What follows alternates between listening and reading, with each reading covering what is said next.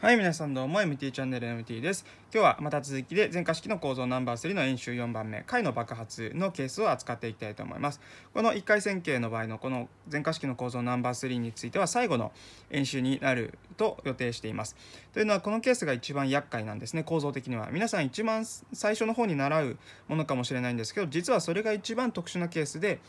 まあ、だからこそ最初に習うのかもしれないんですけど手軽にと、まあ、ある種手軽に解けるという意味ですけど理論的に言えばこれが一番あの微妙なラインなんですね一番その一般的に取り扱うことが微妙だというような感じなんですね。まあ、そのケースを最後に持ってきましたもちろん最後に持ってくるべくして持ってくるわけです。で最後の方に補足としては、まあ、ちょっと、ま、やっぱりちょっと物理的対応だとか次への展望みたいなことを話したいと思うので是非とも最後まで、えっと、見てください。というわけで早速この問題を解いていきたいと思います。初項が1で、えっと、2an+2 の n 乗というような全化式ですね。これを解きたいと思います。前回のとか前々回とかではここ3の n 乗だったり、まあ、普通の多項式だったりしたわけですけど2の n 乗になるとちょっと話が変わってきます。このなぜ話が変わってくるかというとこの係数が同じなんですね。これがちょっと厄介なんです。これが、まあ、解の爆発というものに対応します。まあ、少しばかり言っておくと物理で対応すると共振現象みたいなものに対応するんですが細かい話は少し解いてからにしましょう。で3つほどやはり解放をちょっと見ていきますが差分を取っても今回の場合ほとんど意味がないことはもう皆さんお分かりだと思いますが差分取ってみると a プラス1ですか？もうもう bn と置いてもいいんですけど差分でいってしまいます。そうすると2の n プラス1乗マイナス2の n 乗でここがえっと2の n 乗ですね。もう何何にも変わらないんですね。まあこれがいわゆる入れ子構造みたいな形になっているわけで、まあ、あまり意味がないわけです。まあもちろん差分をですね an マイナス an マイナス1みたいな形で少しばかりやってもまあ全然変わらないわけですね。この場合はあのまあ事実的には何の前進もないわけです。数学の構造的にもう本当にあのあまり褒められたことではないわけです。まあ、むしろ微分に対して、まあ、差分とか微分に対して普遍であるという指数関数とか、まあ、e の x 乗とかいうのがむしろ嬉しいんですけど、まあ、それはこの全化式を解くという意味ではあまりあのうまくいかないわけですね。で次、えっと、今までなら線形性を先に扱っていっていたわけです。特殊化を探そうということですね。でここでは先に3番目をちょっと紹介します。ちょっと順番前後しますが定数変化法の方でいきたいと思います。でなぜかというとこれがかなり気楽にいけるんですね。えっとやはり同じようにまあ何度も同じの書くの凝縮なんですけどこれを解くとして bn が2の n 乗になっている。なのでこれで、えっと、分母分子割ると bn プラス1えっと an プラス1イコールえっと bn 分の an プラスえっと 2bn で割るのでえっと、2分の1が立つわけですね。2の n 乗割る2の n プラス1乗ですから2分の1ですね。っていう感じです。でそうするとこれまさにもう、えっと、解差の形になっているのでイコール b1 分の a1 足す解差というかもう等差数列ですね n-1 の2分の1。というわけで、えっと、b1 が2分の d1 が1足す、えっと、2分の n-2 分の1ですから消えて2分の n になるという。従ってちょっと今終わりそうになりましたけど2分の n×bn つまり bn というのは今2の n 乗ですから従って n×2 の n-1 乗というのが答えで得られます。まあ、n=1 っていうか代入してみてもいいですけどね。まあ、こんな感じで得ることができます。でとても気楽じゃないですかあの前回の丸3とか丸2の方で演習の丸2丸3で見たようにこの最終的に解散を求めるところが搭載になっているのでもう計算がほとんど何もいらないわけですね一般には、えっと、等比数列の和のあの級数とかえっとそういうものが出てきてしまうわけです。係数がちょっと一次の多項式になった等比級数の和とか等比級数とかそういうのがあるんですけどこの場合はむしろ簡単になるんですね。というのはここが揃ってるかです。一般に r 倍の an プラス r の n 乗とかだったらこういうように楽に解くことができるわけです。で定数変化法で解くというのはまあ微分方程式の方でもそうですけど一般的にこういう1回の線形全化式とか線形微分方程式であのかなり有用に使える技なのであの理論的にはとても強力なんですね。ただやっぱりあのケースバイケースで計算が楽になるかならないかというとそれはケースバイケースなんですね。でそういう時には、まあえっと、線形性を見る方が、まあ、あの楽だということも多いです。で今回の場合はむしろこちらのあの理論的理解が少し難しいんですね。それを少しほどあのいきたいと思います。特殊解としてやはり2の n 乗ですから型この型を見てみると型で解を探す特殊解をえっと、探すと何が起こるかというと、えっと、c の2の n プラス1乗が左辺で2倍の c の2の n 乗プラス2の n 乗なのでこれが 2c イコール2の n 乗で両辺割るとここが2が1個だけ残って 2c プラス1になってこれ1イコール0になっちゃうんですね。このような解はないということになるわけです。ない。この型で解が存在しないということになっちゃうんですね。これ緊急事態です。今まで気楽にあの同じような型で解を探そうと思ってやったうまくいったこういう特殊解があったというので気楽に生きてきたわけですけどここにおいてはあのうまくいかなくなりました。で一般にどういうふうにするとうまくいくかというとその結論を先に書いてしまいますが an プラス b 倍の2の n 乗の型で探すと実はうまくいきます。まあ一般には、えっと、こんな感じですね。型で探す。まずこれであの探すことを見てしまいましょう。まあ、これがダメだったというわけですね。まずあのこれで探してみてしまいましょう。ちょっと理屈は後から説明しますのでどういうもようなものが見つかるかということを先に、えっと、見てしまいましょう。すいませんね。えっと、それで探してみると an プラス、えっと、a プラス b の2の n プラス1乗というのが左辺ですね n プラス1を代入したのがこれで右辺が2倍の、えっと、an プラス2まあ2倍ので、えっと、2まあいいや a プラス 2b の2の n 乗プラス2の n 乗で2の n 乗をはしょってあげると、えっと、an プラス b a プラス b イコール 2an プラス 2b プラスこれ全体の2倍ですね。で、えっと、1が出てくるわけですね。そうすると、えっと、やはり同じように、えっと、1次の係数を比べてみると、こうなんか、えっと、まあいいか、えっと、2a イコール1次の係数がここと、えっと、ここだけですね。まあ、2a。なので、これ自明の式になります。で、こちらが 2a プラス 2b イコール、えっと、2b プラス1というわけで、えっと、2b プラス1が、2b がまた消えて、結局、えっと、a が2分の1で b は何でもいいということになりました。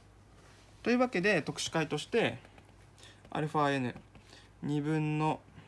n×2 の n 乗つまり n×2 の n-1 乗が特殊解となります。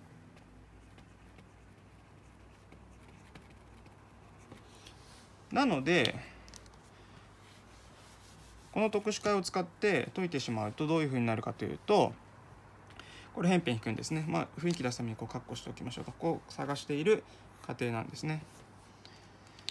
まあ、よってとか書くとなんかいやらしいですけど、まあ、こんな感じで、えっと、特殊解が見つかったので、これ引くと、えっと、an プラス1、あ、ペン間違えましたね。すいません。えっと、こちらですね。えっと、すいません。マイナス αn プラス1イコール2倍の an マイナス αn というふうになってあとはもう前回のと動画と、えっと、全く同じようにいくわけで AN 特殊解が見つかっちゃえばもう本当同じなんですねそれがとても線形性を着目することのメリットでもあります α1 の2の n-1 乗でちょっと α1 をこの辺で計算しておきましょう α1 が 1×2 の0乗なので1ですねなので、えっと、a1-a1 でこれ0になってしまいます a1-1×2 の n-1 乗で0なのでしたがって an は αn イコール n×2 の f1 乗というふうになります。これが答えになります。 さてどうだったでしょうか？えっとなんか不思議なことが起こりましたか？でもえっとこの辺の構造は特殊化が見つかってしまえば同じような議論ができるというのがやはり線形線着目することのまあ綺麗さっぱりさですよね。でこの場合はこういう解の爆発のケースと言いますけど定数変化法の場合でも簡単に解くことができました。この辺がちょっと雰囲気が違うわけですね。で一番雰囲気が違うのがやはりここで特殊解を探すという時に今までは気楽にこういう形でよかったのにこうやって探さないといけないということでした。でそうすると今の不安に思われる方がいてこう2乗じゃなくてなんで1時なんだとかこうじゃない方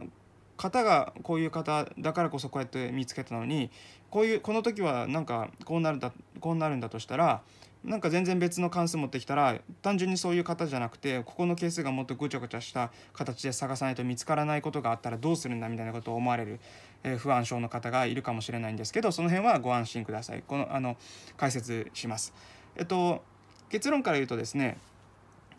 ここ非常に特殊なケースでこういうのを解の爆発のケースと何度も、えー、と言ってしまってますけどこういう場合はその型にまあ一時でいいんですね1回線形の場合は。えっとこのえっとですねここ定数なんですね。ここ定数で今まで探してきたんですけどこれで見つからなかったらこれの積分型。一時の積分。1回の積分ですかね。1回の積分で見つかります。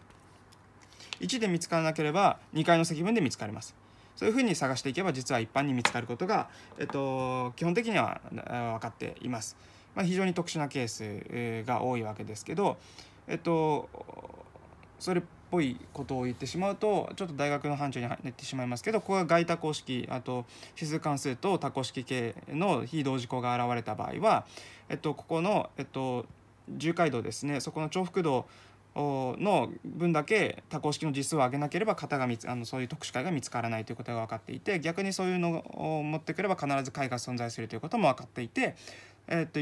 そういうものが特殊化になっているので見つけてくれば引いて線形同時線形に直せるというようなことが実は一般的に分かっているので、えっと、その辺の事情を知りたい方は是非ともそれなりのあの本をご覧ください。ここではどういうふうにもあのまとめておくとどういうふうに解くことができるかというと、まあ、まずこういうふうに挑戦してみるといいかもしれないですね。で見つからなければ次数を上げていくということです。ただこちらの次数を上げるのではなくてその係数を積分していくということですね。つまり定数項0時だったら次1時ダメだったら2時というふうに試していくということです。ただし今の場合はもうほぼほぼ自明でその辺の取り扱いはこの係数ですねこれがいわゆる固有値というものに対応してるんですけどこことここが同じだったらそういうことをしなくてはなりません。まあ、そのぐらいのことでいいかもしれないです。実際3の n 乗とかだったら普通にあの定数倍で見つかったわけであのその辺は嬉しいわけですね。これが本当に特殊なケースだという認識を持っておくといろいろ間違いはないだろうと思います。でそういう場合分けもあの面倒くさいと思う方はもう最初から定数変化法で全部解いてください。ただ、まあ、計算は多少あの一般に、えー、優しいとは限りません。というわけでまあいろいろありますけどねあのまずこれで試してみてなんかうまく解が見つからないと思ったら慌てず騒がず、えっと、ケースを実上げするか定数変化法にやるか、まあ、つまりこれでまず当たってみてこっちに移行するかこっちに移行するかみたいな指針を心の中で思っていけばいいと思います。やってほしくないのはあのここの係数とこの係数が同じの時はこれをやんなきゃいけなくて、えっと、ここと係数違う時は、えっと、こっちでいいやみたいなそういうなんか分類学的なことをやられると結構しっちゃかめっちゃかになる人が多いと思うので経験的に。それはあまりお勧めしません。まずはまああのこういう大枠を持っておくことが重要ですね。はい、であとあなんか話が長くなってしまいそうですけど、えっと、物理との兼ね合いでいうと解の爆発というのは、まあ、まさに数学の言葉であったり、えっと、物理の言葉であるんですけどこれあの共振現象に対応してるんですね。ここの振動数とここの振動数があの非同時項の振動数とその固有振動数が一致するケースに対応します。そうするとそういう外力を与えて、まあ、例えば電気回路とかだとその固有振動数というのはいわゆる抵抗とコンデンサーとかコイルで決まるわけですけどそれと同じような、えっと、電源それとそこから決まるいわゆるインピーダンスから得られるような、まあ、ある種の、えっと、固有振動数と同じ、えっと、振動数の、まあ、外部電圧を加えたりするとあの電圧って爆発しちゃうんですよね。爆発というかあのどんどん増幅していってしまいます。普通だったらいわゆるあの何て言うんですか減衰振動とか加減衰とかになるわけですけど、えっと、もうほん振幅がどんどん増えていってしまうわけですね。いわゆるブランコみたいなもんです。あのその揺れるタイミングをきちんと、ね、払見計らって力を加えるといくつまでも大きくなるということと同じです。あとはまあ例えばこういう振動数の例で言えばまあ、いわゆる昔橋でそのこういう振動数にと同じ振動数の風がちょうど来てしまってうねうねして壊れないけどすごい波打ってる映像とか皆さん見たことあると思うんですけどいわゆるなんかテレビとかでね時々やっていますけどそういうものに対応しますつまりこことここはこういう振動数が同じなのでこういう、えっと、定数項としてあの爆発口みたいなこういう補正が必要になるわけですね。まあ、というわけでいろいろ話が長くなってしまいましたが数学的には別に、えっと、あまり気にしなくてよくってこの2つの大枠を持っていれば大体どんなものでも対処することができます。で、えっと、物理的背景を知っていればなおさら嬉しいという感じですね。数学的にはまた、えっと、微分方程式とかやるとより理解が深まります。またどうしてここが1回積分にしなくてはならないのかという、えっと、必然性については実はですね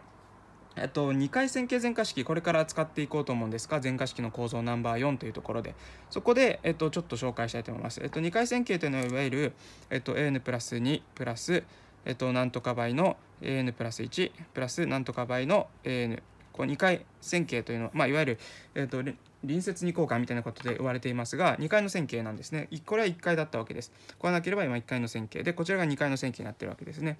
でこここのこれについて、えっと、取り扱うと実はこの辺むしろ逆に見やすくなるんですね。これが、えっとまあ、ちょっと先出ししてしまうといわゆる特性方程式と言われるようなものがあるわけですけどそれが重回を持つ重回を持たない時でちょっと振る舞いが変わってきます。で重回を持つ時に実はこれが対応してきたりするんですね。なのでむしろこっちをやって工事の一時って特殊すぎるんですよね。ですけどそういう実数を上げたところで構造を見て解の、まあ、いわゆる重回になるようなケースを見るとむしろ構造がよく見えてここのどうして一時積分したもの一回積分したものを、えーと、考えなきゃいけないかということも実は見えてきますので是非ともそちらも合わせてご覧ください。ナンバー4以降をご期待くださいというわけでこの動画が面白かったと思う方はチャンネル登録と高評価ボタンを是非ともよろしくお願いします。また、えーと、コメントアドバイスと受け付けているので是非ともよろしくお願いします。では次の動画もご覧ください。さようなら。